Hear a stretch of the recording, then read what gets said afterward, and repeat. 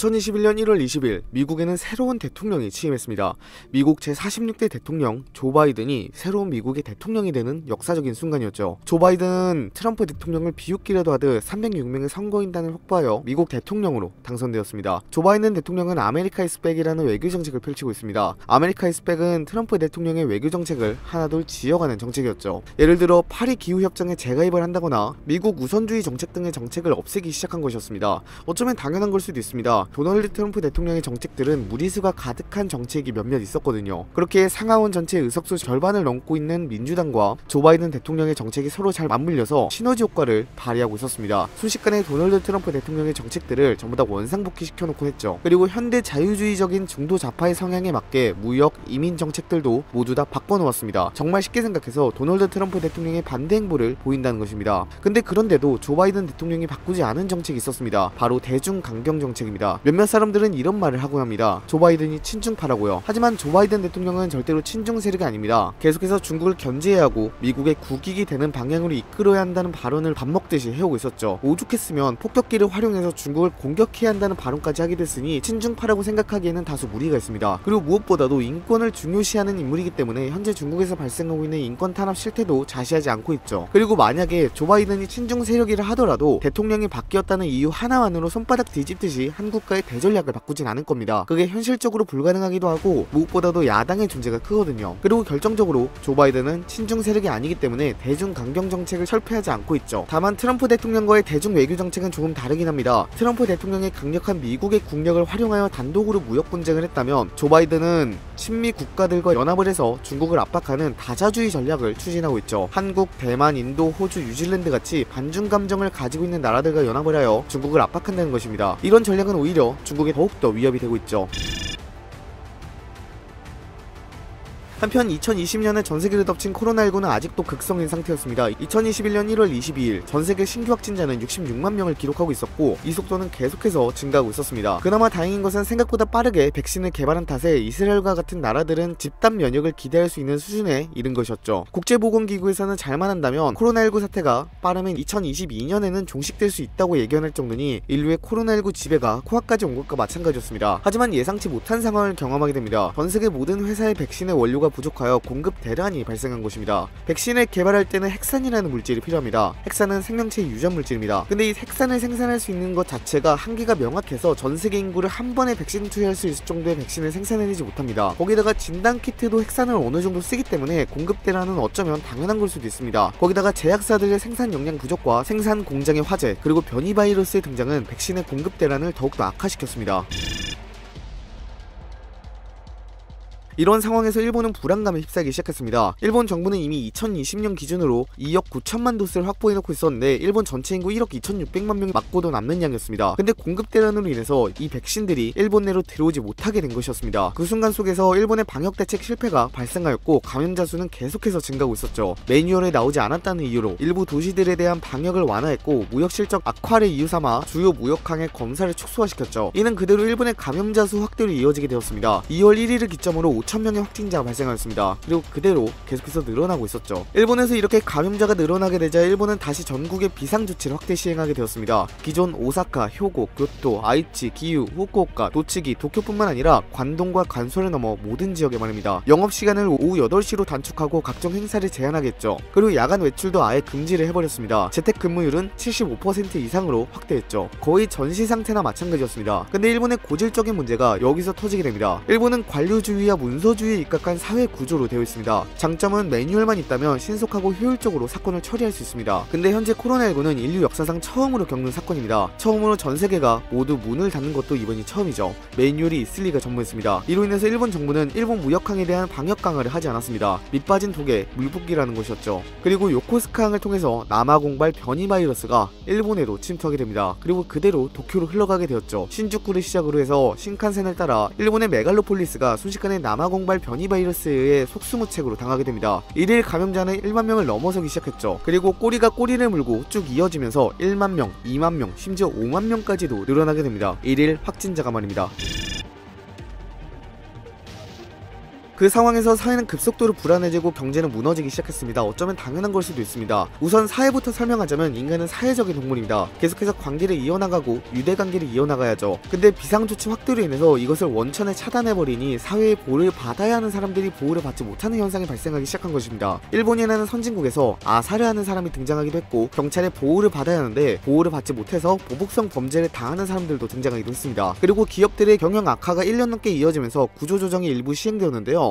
이로 인해서 회사에 잘리는 사람들이 극단적인 선택을 하는 경우도 종종 발생하였습니다. 사회적으로 크게 불안해지기 시작한 것이었죠. 이렇게 한 나라가 어떤 한 사건으로 인해서 크게 흔들리면 가장 크게 피해를 보는 집단은 고위층이나 부유층이 아닙니다. 바로 그 나라에 있는 소외 계층들이죠. 사회와 국가를 설명하는 수많은 이론이 있지만 국가의 제일 우선 목표는 자국민에 대한 보호입니다. 근데 국가가 자국민에 대해 보호를 하지 않게 된다면 그 나라는 필연적으로 사회가 크게 불안해질 수밖에 없습니다. 이것은 멸망하기 직전의 나라에서 나타나는 공통적인 현상들이었죠. 근데 그런 현상들이 지금 일본에서 발생하고 있다는 것이었습니다. 스가 요시대 내각은 이를 하루빨리 처리했어야 했죠. 지금 이 순간에도 정치인들에게 중요한 지지율은 계속해서 떨어지고 있었거든요.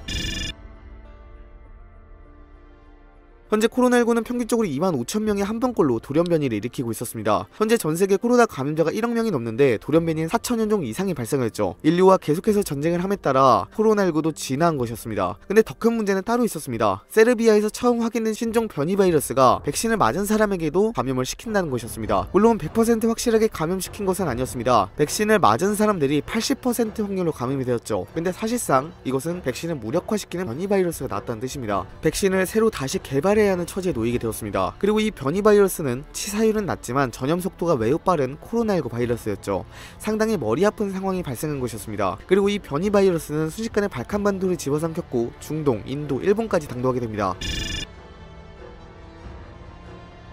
일본 열도에서 남아공발 변이 바이러스를 포함해 세르비아발 변이 바이러스까지 침투하게 되자 피해가 걷잡을 수 없이 커지게 됩니다. 심지어 의료용 병상도 부족해지기 시작해졌죠. 그리고 백신이 사실상 무력화되는 세르비아발 변이 바이러스가 들어오게 되고 이게 퍼지게 되자 2억 9천만 도세를 확보한 일본 정부는 낙담하게 됩니다. 근데 그런 상황에서 IOC의 소식이 전해지게 되었습니다. 2020년 도쿄올림픽을 2021년으로 연기한 것으로 모자라 이제 취소하겠다는 소식이었습니다. 현재까지 하계올림픽이 취소된 사례는 총 3건이었습니다. 1916년 베를린 올림픽과 1940 1940년 도쿄올림픽, 1944년 런던 올림픽이었습니다. 근데 이 세 개 올림픽의 공통점은 모두 전쟁으로 인해서 취소된 것이었습니다. 다른 이유는 없었죠. 근데 이번에 전염병으로 인해서 처음으로 올림픽이 취소된 것이었습니다. 백신까지 무력화되는 변이 바이러스가 등장한 것도 모자라 일본의 방역 상황은 좋아지기는커녕 계속해서 나빠지고 있었으니까요. 그래서 IOC는 도쿄올림픽이 새로운 전염병의 온상지가 되는 것을 막기 위해 도쿄올림픽 자체를 취소시켜버립니다. 일본은 계속해서 1년 정도 연기해달라고 검토를 요구했지만 IOC에서는 이를 인정해주지 않았습니다. 결국 일본은 올림픽 취소로 인하여 37조에 달하는 피해액이 생기게 되어버렸습니다. 거기다가 GDP는 1.4%나 감소가 되기까지 했죠. 올림픽 취소에 대한 영향이 생각보다 더욱더 커지게 된 것이었습니다. 한순간에 일본은 더 큰 빚더미에 앉을 상황에 놓여버린 것이었죠. 올림픽이 취소되어 버리자 스가 요시히데 내각은 일본 자유민주당 내에서 각종 공세를 받기 시작했습니다. 그에 대한 경제 피해가 상당했기 때문이었죠. 일본은 특이하게도 일당 독재 체제라고 해도 될 정도로 여당이 강력합니다. 1955년에 자유민주당이 창당한 이래로 일본 현대사의 대부분을 자유민주당이 집권하고 있었습니다. 자유민주당만 알면 일본 정치를 다 이해했다고 봐도 무방하다는 말이 있을 정도로 자유민주당의 영향력은 상상 그 이상이죠. 그래서 일본 자유민주당의 대표만 되어도 총리가 되는 경우가 허다합니다. 그렇게 자유민주당 파벌을 휘어잡아야 했습니다. 근데 스가 요시히데는 파벌이 전혀 없는 인물이었습니다. 다른 파벌 입장에서는 손쉬운 먹잇감이자 자신의 파벌이 총리가 될 수 있는 절호의 기회였죠. 자유민주당 내 파벌이 계속해서 스가 내각을 압박해가면서 사퇴를 종용하기 시작합니다. 그리고 결국엔 사퇴까지 시키죠. 이제 자유민주당 내 파벌들은 자신의 파벌이 총리가 되게끔 할 것입니다. 강경 우파로 알려진 세이와 정책연구회, 지공회와 같은 보수 방류, 굉지회, 근미래 정책연구회, 상대적으로 온건적인 성향을 내는 헤이세이 정책연구회, 수월회, 지사회와 같은 보수 본류, 크게 3개, 세부적으로 보면 7개의 파벌이 계속해서 경쟁을 하게 됩니다. 그리고 마침내 자유민주당 총재 선거를 통해서 보수 방류의 지공회 소속 고노다로가 자유민주당의 새 총재가 됩니다. 그리고 고노다로는 제100대 내각 총리 대신이 되죠. 새로운 역사가 시작된 것이었습니다. 그리고 고노다로는 스가 요시히데보다도 훨씬 강경한 성향의 우익 정치인으로 알려져 있죠. 그리고 이들이 원한 것은 자위대를 군대로 전환하고 전쟁이 가능한 일본을 만드는 방향의 평화헌법 개헌이었습니다. 일본 정계를 강경파라고도 불리는 지공회가 장악하자 일본은 다시금 평화헌법 개헌을 준비하게 됩니다. 현재 일본 사회는 급속도로 불안해지었습니다. 코로나19로 인한 방역 실패와 경제 침체 그리고 올림픽 취소까지 불안해지지 않으면 그게 더 이상할 정도로 말입니다. 이런 불안은 그대로 극단적인 정치 세력이 지지를 받는 모습을 취하게 됩니다. 역사적으로 항상 사회가 불안하면 극단적인 정당들이 지지를 받곤 했습니다. 가장 대표적인 게 1930년대의 독일 나치당이었죠. 현재 일본도 똑같이 대입시킬 수 있었습니다. 너무나도 강경한 개파들이 지지를 받고 있었거든요. 그리고 이런 국민적 지지는 평화헌법 개헌 준비로 이어지게 되죠. 하지만 무슨 사건이든 간에 명분이 중요합니다. 미국이 베트남 전쟁과 이라크 전쟁에서 고전을 면치 못한 이유도 명분이 부족했기 때문이었습니다. 그래서 고노다로는 평화헌법 개헌을 위한 명분을 찾기 시작합니다.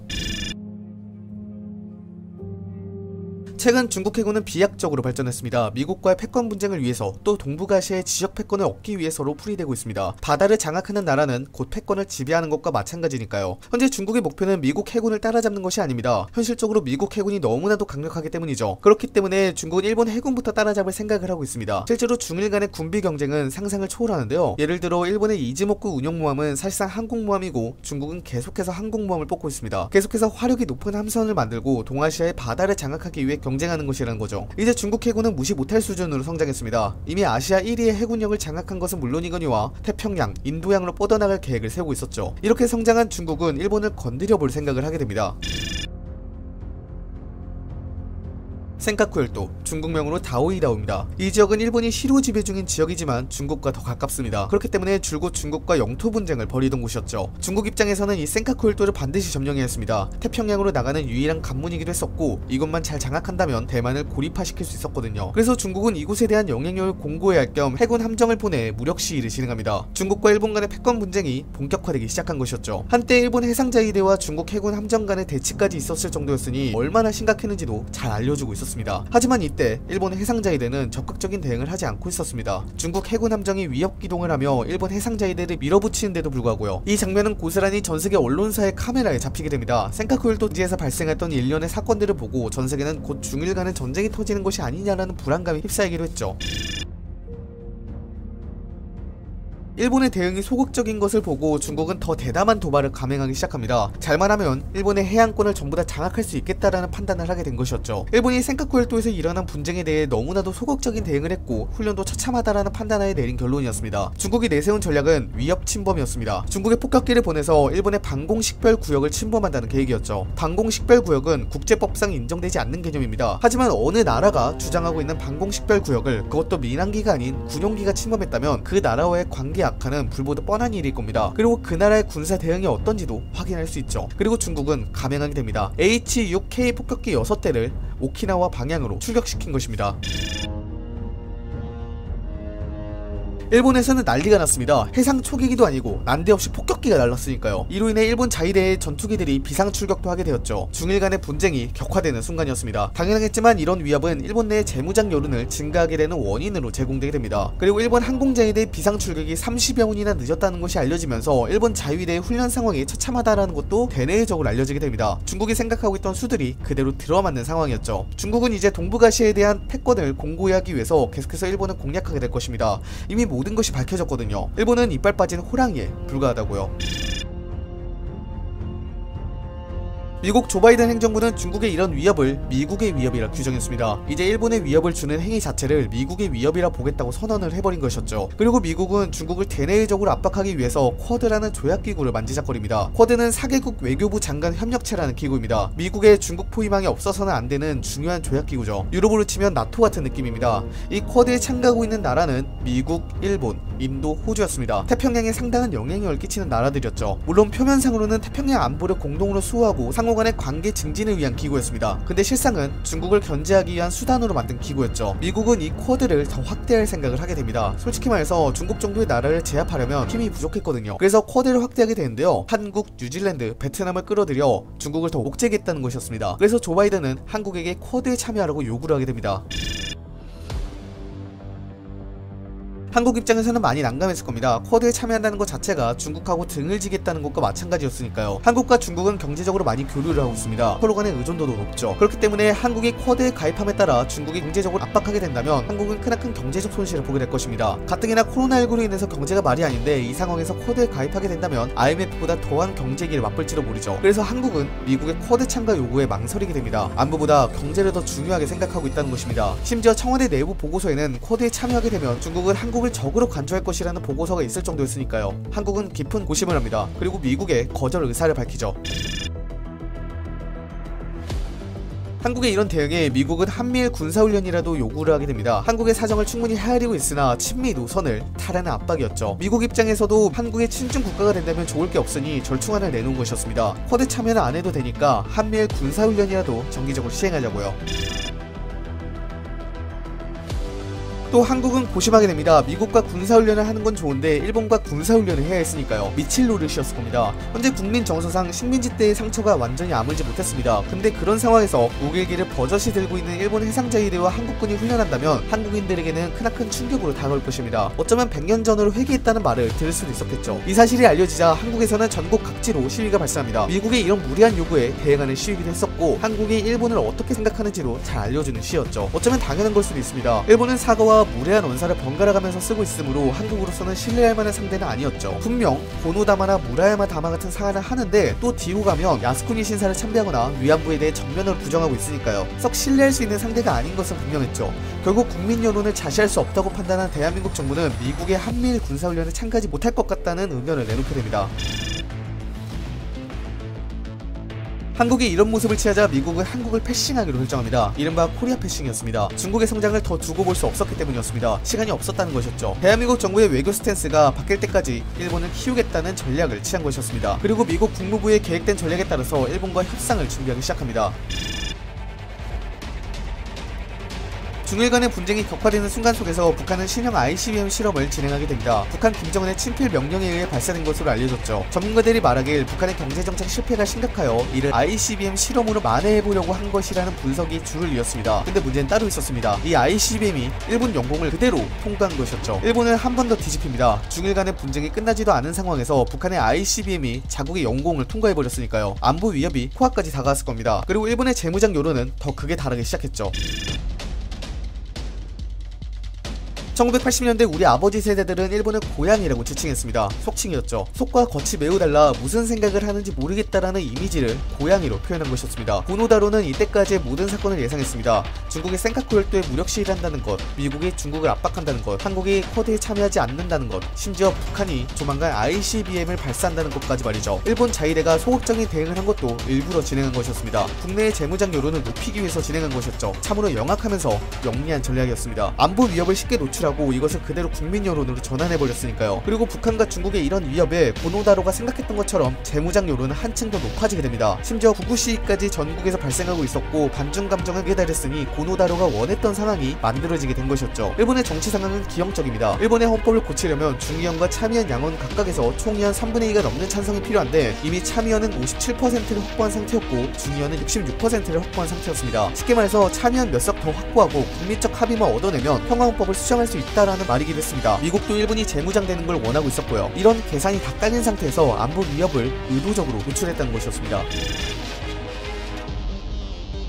전 세계가 중일 간의 분쟁을 지켜보고 있었습니다. 근데 대뜸 파나마 운하에서 엄청난 사건이 발생합니다. 파나마 운하를 통과하는 중국 상선에서 미사일이 발견됐기 때문이었습니다. 그것도 상선에서 발사가 가능한 미사일 말입니다. 미국은 일찌감치 중국의 컨테이너 미사일 선박에 대해 알고 있었는데 실전 배치가 된 줄은 몰랐죠. 이 중국 컨테이너 미사일 선박은 YJ-18C 미사일을 민간용 컨테이너에 담아놓은 형태였습니다. 컨테이너 하나에 4발 정도가 적재될 것으로 보고 있었죠. 근데 문제는 민간 선박에 이렇게 무기를 달아놓게 된다면 중국이 보유한 대규모 컨테이너 선박이 모두 다 미사일 구축함으로 변신한다는 것입니다. 쉽게 말해서 전 세계가 중국의 미사일 타격권이라는 것이죠. 그리고 잠수함보다 훨씬 더 위협적인 상대라는 것입니다. 평시에 미국이나 적대국 연안을 유유히 항해하다가 유사시에 항구로 진입해서 무차별적으로 미사일을 날릴 수 있다는 것이죠. 쿠바 미사일 위기 때보다 더 심각한 위기가 미국 앞으로 직면했다는 뜻입니다. 언제 미사일을 쏠지 모르는 상태가 되었다는 것이었죠. 그리고 실전 배치가 되었을 정도라면 전 세계 중국 선박이 사실상 구축함이 됐다는 것과 다름이 없었고요. 미국 건국 이래 최대의 위협이었습니다. 파나마 운하에서 중국의 컨테이너 미사일 선박을 발견하게 되자 미국은 즉시 파나마 정부에 공조 수사를 요청했습니다. 현재 파나마 운하의 소유권과 관리권은 파나마 정부에게 있습니다. 하지만 파나마 운하는 대서양과 태평양을 이어주는 통로 역할을 하고 있죠. 즉 미국에 있어서 절대로 포기할 수 없는 지역이라는 것입니다. 그런 지역에서 중국의 컨테이너 미사일 선박이 발견되었으니 미국의 안보 위협이 드리워졌을 겁니다.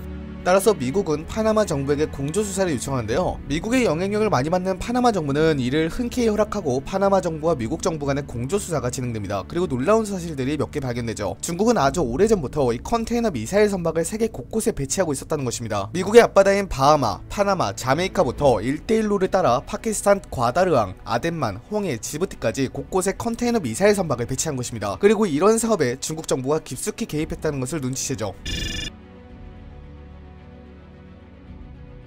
파나마 운하에서 활발히 조사를 펼치는 가운데 미국 국무부가 먼저 성명을 발표하게 됩니다. 아주 강도 높게 비판하였죠. 중국은 인류의 해가 되는 악의 축이라고 말입니다. 조사 결과 컨테이너 미사일의 성능이 매우 좋은 것으로 알려졌는데요. 다단 추진 시스템을 사용하고 있으며 순항 시에는 마하 0.8 정도의 속도로 터보팬 엔진을 사용하고 최종 돌입되는 속도가 마하 2.5에서 3.0에 달한다고 합니다. 사거리는 1600km였고요. 거기다가 컨테이너 미사일 선박이라는 특유의 은밀성 때문에 잠수함과 비슷한 임무를 부여받고 있는데 잠수함보다 훨씬 저렴한 것도 있었죠. 이런 선언으로 인해서 사실상 미국이 중국을 적대국이라고 선언하는 것과 다름이 없었습니다. 어쩌면 당연했습니다. 미국 모든 영토가 사장권에 들어오게 되었으니까요. 미국은 더는 중국의 이런 행동에 자시하지 않으면 안 되겠다라는 판단을 하게 됩니다. 그리고 아예 중국을 악의 축으로 선언해버리죠. 그리고 이는 그대로 전 세계 외교도 영향을 미쳤고요. 중국은 미국의 이런 주장에 대해서 허무맹랑한 소리라며 반박을 했습니다. 자신들은 컨테이너 미사일 선박을 개발한 적이 없다고 말입니다. 중국 기업이 불법적으로 만든 미사일이라며 이를 강력히 처벌하겠다고 했죠. 하지만 이게 더 허무맹랑한 소리였습니다. 민간 기업이 컨테이너 미사일 선박을 만든다? 말이 안 되는 소리였죠. 이런 중국의 허무맹랑한 소리 덕분에 전 세계는 중국을 의심하기 시작합니다. 그리고 그에 적절한 대응을 해주기 시작하죠.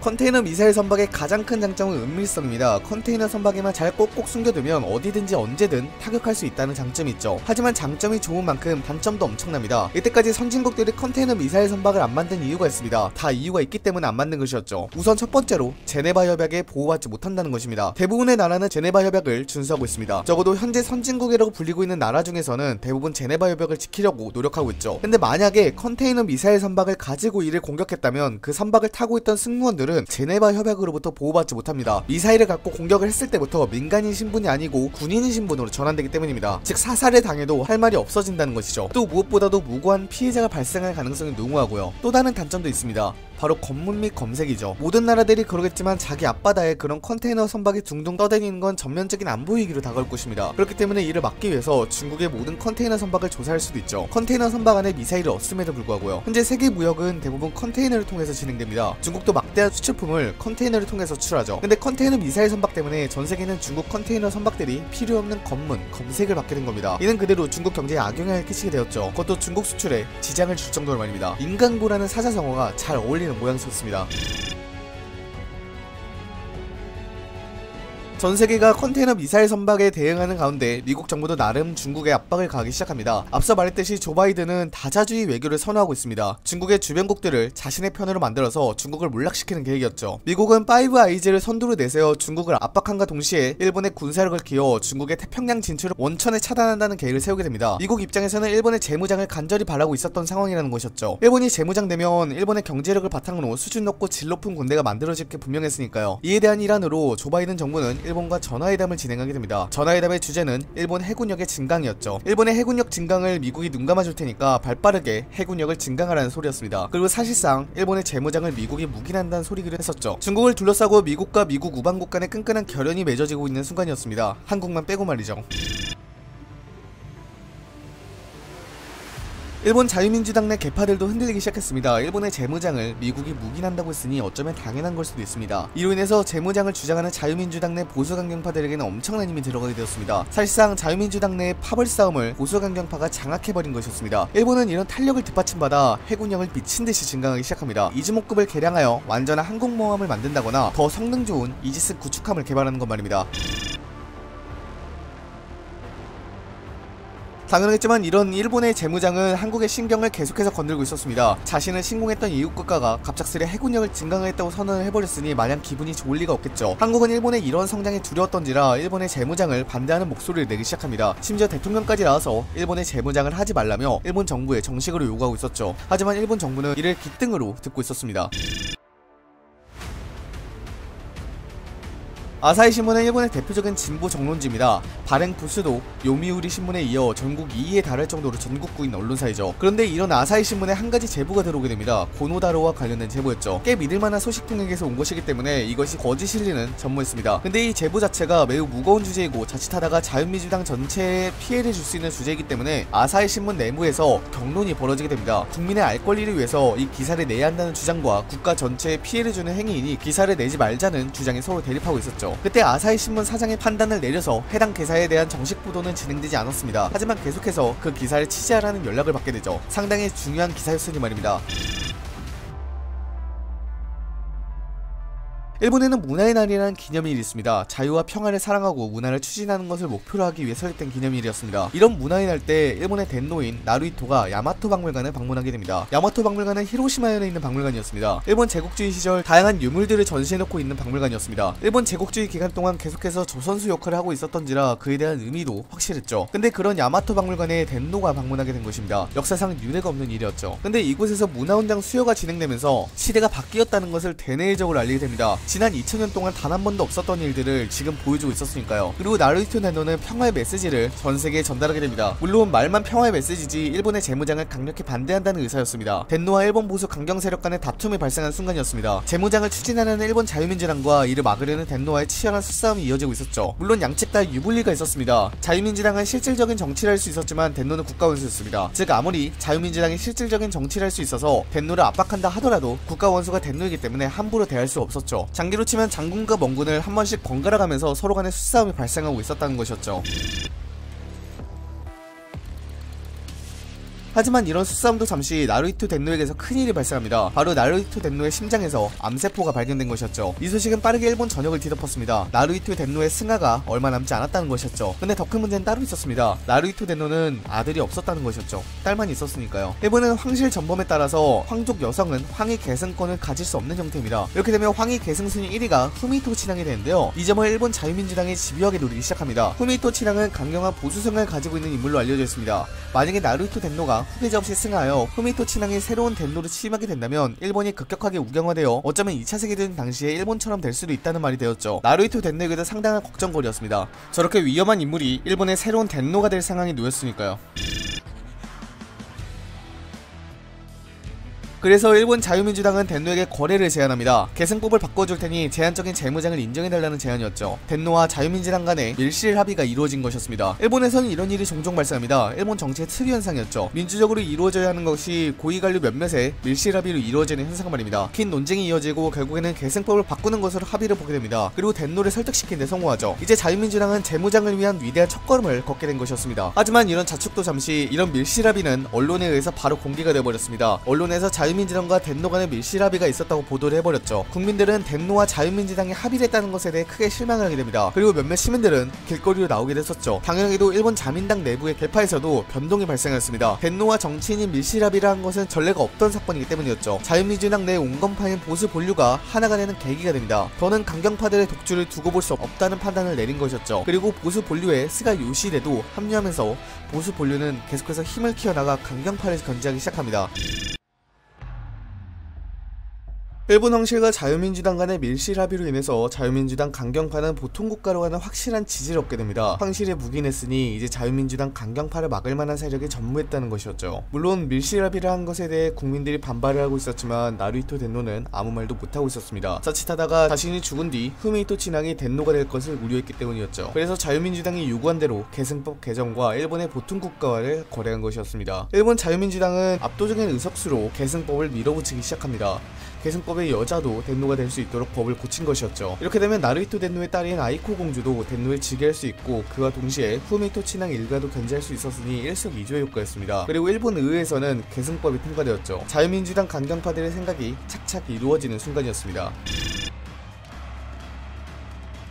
한편 미국도 일본이 곧 재무장을 할 것이라는 이야기를 듣고 중국을 더욱더 봉쇄하기 시작했습니다. 다시는 중국이 패권에 도전할 수 없을 정도로 경제를 마비시키고 있죠. 그래서 중국에 대한 모든 선적의 검문을 의무화하기로 합니다. 이렇게 되면 사실상 중국의 해양 무역은 마비가 됩니다. 안 그래도 중국의 기업 부채가 심한데 여기에 쐐기를 박아버린 것이었죠. 이제 일본의 재무장과 한국의 쿼드가이까지 이루어진다면 대중국 포위망이 완성되어 중국은 몰락할 것입니다. 미국은 알게 모르게 입꼬리가 귀까지 올라가 있을 겁니다. 패권에 도전하는 나라를 끌어내리는 것만큼 국력 차이 를 잘 보여주는 게 또 없거든요. 미국은 일본 자유민주당에 재촉을 하며 빠른 시일 내에 재무장을 하라고 요구를 하게 됩니다. 일본 자유민주당 강경파들도 단추를 하나씩 하나씩 깨기 시작합니다. 제일 먼저 무기 수출 3원칙과 군수법을 폐지하게 됩니다. 일본에는 무기 수출 3원칙이라는 게 있습니다. 일본은 2차 세계대전 패전 이후 평화헌법에 따라서 군대를 보유할 수 없는 국가가 되었습니다. 하지만 6.25 전쟁의 영향으로 인해서 다시 경제가 살아나고 자위대라는 명칭의 준 군사 조직을 얻게 되는데요. 많은 국제사회의 질타가 이어지면서 일본은 국제사회에 대한 신뢰도를 높이기 위해 비군사화 규범이라는 것을 선언하게 됩니다. 그중 하나가 무기 수출 3원칙이었죠. 무기 수출 3원칙은 쉽게 말해 자국산 무기를 해외에 수출하지 않는다는 정책이었습니다. 근데 그 무기 수출 3원칙을 폐지해버린 것이었죠. 무기 수출 3원칙 때문에 비쌌던 일본의 무기들은 가격이 내려가게 됩니다. 무기란 게 시장이 한정적일 수밖에 없는데 무기 수출 3원칙이 족쇄를 잡고 있었으니 가격이 높을 수밖에요. 근데 그 족쇄를 풀어버리니 가격이 빠른 속도로 떨어지게 됩니다. 다른 무기들과 경쟁할 기회가 된 것이었죠. 그리고 그와 동시에 더 좋은 무기를 개발할 수 있게 되었고요. 그리고 이를 뒷받침할 군수법도 대대적으로 개정을 하게 되죠. 보통 국가로 가는 첫 단계를 밟게 된 것이었습니다. 미국의 자국 선박 검문 의무화와 일본의 재무장 행보의 위협을 느낀 중국은 더욱더 해군력에 투자하게 됩니다. 일본이 재무장을 하기 전에 빨리 일본을 압도할 해군력을 키워내야 했기 때문이었죠. 그리고 미국이 저렇게 압박을 지속해오고 있어서 피해가 크기도 했었고요. 그래서 중국은 국가의 모든 국력을 해군력에 쏟아붓기 시작합니다. 미친 듯이 군함을 뽑아내고 항공모함을 뽑아낸 것이었죠. 중국 정치권에서는 일본이 더 크기 전에 일본을 압박해 우리 편으로 만들어야 한다는 의견이 나오기도 했습니다. 어차피 일본은 별 대응을 못하는 국가라고 생각했기 때문이었죠. 갑작스럽게 동북아시아에서 군비 경쟁이 발생하자 한국도 놀라게 됩니다. 중국과 일본의 위협이 직접적으로 다가왔기 때문이었습니다. 우려의 목소리를 내기 시작했죠. 그리고 일본의 재무장과 중국의 대응을 보고 한국도 가만히 있어서는 안 되겠다는 판단을 내리게 됩니다. 그래서 한국 내에서도 해군력을 기르기 위해 아낌없는 투자가 진행됩니다. 장보고함 잠수함을 더 생산한다거나 이지스함을 더 건조하는 식으로 말이죠. 그리고 향후 도서 지역 탈환을 위해서 해병대의 독립병정 움직임도 일고 있었고요. 사실상 동북아시아가 냉전 체제에 돌입한 것과 마찬가지였습니다.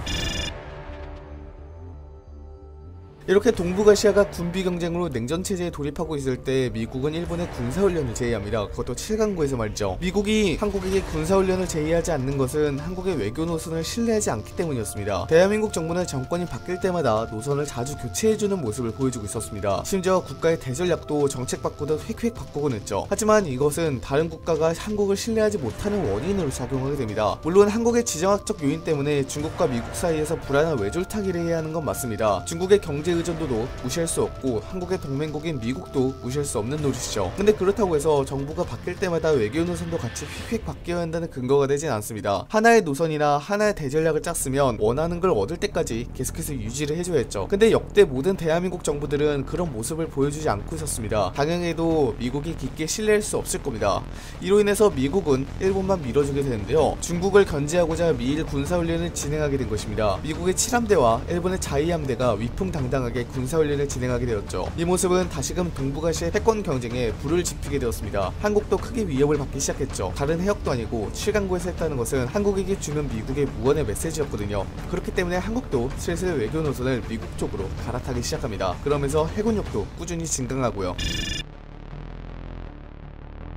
사실상 악순환이었습니다. 해군력을 키우면 그 키워진 해군력을 바탕으로 또 군사적인 대응을 하고 이 군사적인 대응은 패권 경쟁에 이용되고 패권 경쟁이 발생했으니 또 군비 경쟁이 발생하고 이런 식으로 꾸준히 악순환이 발생하곤 했습니다. 어느덧 세계의 화약권은 발칸반도나 중동이 아니라 동북아시아에 초점이 맞추어질 정도였으니까요. 그와 동시에 일본은 영악하게도 이런 악순환의 고리를 타고 보통 국가가 되기 위해 조금씩 조금씩 재무장에 해가 되는 정책이나 법률들을 바꿔가고 있었습니다. 마치 천천히 달아오르는 냄비 속 개구리처럼 말이죠. 아무도 모르게 은밀하게 하나씩 하나씩 바꿔간 것이었습니다. 어느덧이 군사와 규범은 유명무실화 되었고 일본 자위대는 자위대라고 불리 민망할 정도로 강력한 군사 조직이 되어버렸습니다. 이제 보통 국가가 되기 위한 마지막 발걸음인 개헌만 남은 상태였죠. 이제 자유민주당은 때가 됐다고 판단했는지 개헌을 시도하게 됩니다. 현재 일본 정계는 자유민주당에 상당히 유리한 구조로 흘러가고 있었습니다. 참의원과 중의원, 양원 각각에서 총의원 3분의 2를 넘는 찬성이 필요한데 보수 정당들과 무소속 의원들까지 다 합치게 되면 3분의 1을 훌쩍 넘고 있었거든요. 그리고 중국과 북 한의 위협으로 국민 여론도 조성이 된 상태였고요. 마침내 기회가 온 것이었습니다. 자유민주당 내부에서 본격적인 개헌 이야기가 나돌기 시작하죠. 이미 구체적으로 개헌안의 내용도 나오고 있었으니 얼마나 진전이 있는지 가늠할 수 있었습니다.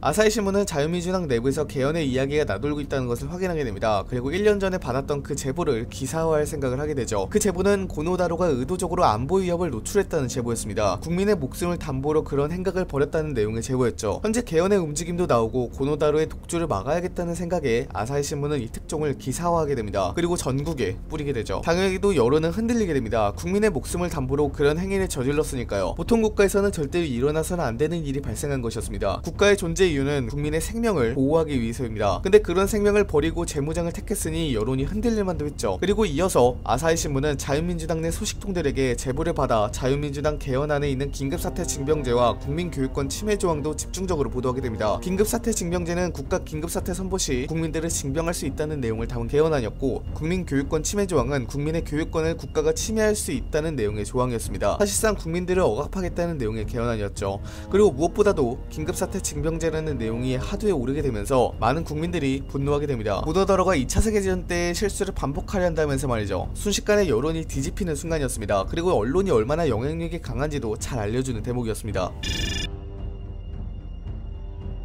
고노다루와 자유민주당 강경파들은 당황하게 됩니다. 개헌안을 둘째치고 기밀 사항이었던 안보 위협 노출 전략에 대한 내용이 민간에 뿌려지게 되었으니까요. 이를 수습하려 애써보지만 이미 여론은 뒤집어진 뒤였습니다. 그리고 전국 각지에서는 시위가 계속해서 발생하였죠. 정치에 무관심하던 일본 국민들이 갑자기 이렇게 관심이 쏠린 것도 당황할 만했었죠. 아무래도 개헌안 속 징병제라는 내용이 일본 국민들에게 있어서 정치에 관심을 가질 수 있게 하는 트리거 역할을 한 것으로 풀이가 됩니다. 이 시대에는 계속해서 자유민주당 강경파와 고노다루를 압박해가고 있었습니다. 이 기회를 놓칠라 자유민주당 온건파들도 다시 하나로 뭉치게 됩니다. 일본 전국민 단합회라는 단체를 만들어서 거대한 일본 강경파에 대응하고자 나선 거죠. 그리고 이 전단의 수장으로 고노다로에게 실각한 스가 요시히데가 취임하게 됩니다. 스가 요시히데의 대대적인 반격이 시작된 것이었죠. 그리고 아사히 신문의 안보 위험 노출 전략을 제공했던 사람도 스가 요시히데였습니다. 이렇게 여론이 확 뒤집힐 것을 예견하고 개헌하기 직전까지 계속해서 기다린 것이었죠. 그리고 개헌하기 직전에 이 기사를 터트리게끔 해 고노 다로가 난관에 봉착하도록 만든 것이었습니다. 훌륭한 훌륭한 계략이었습니다. 그리고 이제 스가 요시히데는 모든 전력을 쏟아부으며 고노 다로 행정부를 압박하게 됩니다. 히틀러와 비교할 정도였으니 계파 갈등이 어느 정도인지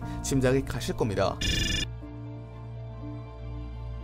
그와 동시에 나루이토 덴노도 시위 지지를 암시하는 내용의 연설을 시작하게 됩니다. 평화헌법 내용상 나루이토 덴노가 직접적으로 정치에 개입할 수 없었으니 이렇게 암시를 하면서 시위 지지를 나선 것이었습니다. 어차피 나루이토 덴노는 얻을 것을 다 얻은 상태였거든요. 계승법을 미리 통과시켜 놓은 상태인지라 더는 잃을 게 없었습니다. 그리고 후미토 친왕이 덴노가 될 확률도 낮았고요. 그래서 나루이토 덴노는 고노다루의 뒤통수를 이렇게 쳐버리게 된 것이었습니다. 덴노까지 지지선언을 할 정도였으니 시위대 규모는 점점 더 커지게 됩니다. 일본 역사상 이렇게 많은 시위대가 몰린 것은 처음이었죠. 그리고 일본 일본이 침략한 국가들이 일본을 강력하게 압박하기 시작합니다. 한국을 포함해서 중국, 대만, 동남아 등 2차 세계대전 시절 일본에 침략받은 나라들이 다시 역공을 퍼부으며 일본의 재무장을 경계하고 있었죠. 각종 외교 채널을 통해 일본을 압박하고 있었습니다. 그리고 일본 정부는 대내적인 압박으로 인해서 정신을 못 차리고 있었죠. 그럴 만도 했습니다. 일본 역사상 가장 큰 규모의 시위와 전방위적인 외교 압박이 들어오게 되었으니까요. 심지어 자유민주당 내부에서도 비판의 움직임이 일고 있었으니 고노 다로 행정부가 얼마나 큰 역린을 건드렸는지 알 수 있었습니다. 결국 대내적인 압박으로 인해서 고노 다로 내각은 실각하게 됩니다. 일본 국민들이 처음으로 정치에 관심을 가지게 되고 승리하게 되는 순간이었죠. 일본이 꿈꾸던 재무장도 물거품되는 순간이었습니다. 스가 요시히데를 위시한 자유민주당 온건파는 빠르게 비어있던 공백을 장악해나가고 있었습니다. 강경파가 몰락하고 온건파가 다시 장악하는 분위기였죠.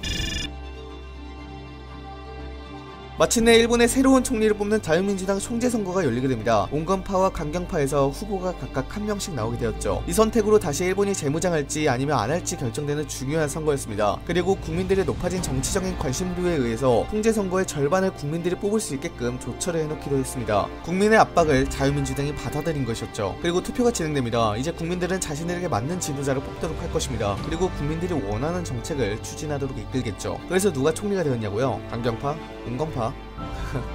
그건 저도 궁금합니다. 왜냐하면 그것은 일본 국민들이 결정하기 때문입니다. 민주주의 사회에서는 국민이 왕이기 때문이죠. 단순히 몇몇 정치인이 나라를 꾸려가는 것이 아닌 국민들이 직접 꾸려가는 민주주의 말입니다.